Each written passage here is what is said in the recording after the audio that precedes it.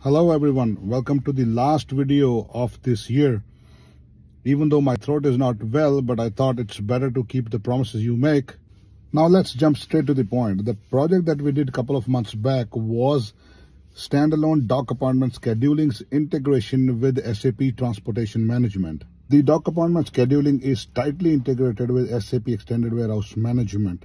But even though EWM was not part of the scope, we managed to integrate directly with SAP TM in the absence of SAP EWM. Standard interface which connects dock appointment scheduling was also edited as it was required to push some custom fields. Finally, we were able to book the appointment, update the appointment along with the extra field which was required. These were few of the projects that we did in 2022. I am very much excited about the year 2023. If you wish to join our company, I am mentioning the email ID below don't forget to send in your CVs if you wish to work on the exciting projects. Till we meet next time, Happy New Year!